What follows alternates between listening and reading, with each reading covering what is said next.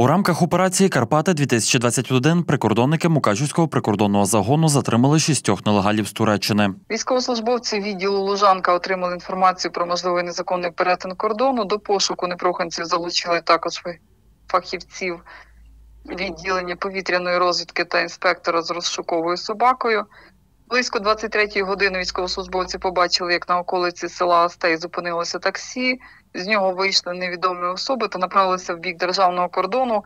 Помітивши наближення правоохоронців, незнайомці забігли у соняшникове поле, де спробували втекти та сховатися. Застосувавши безпілотник, прикордонники знайшли та затримали шістьох чоловіків, які мали при собі паспорти громадян Туреччини. Охоронці кордону з'ясували, що іноземці прибули в Україну на початку серпня в законний спосіб.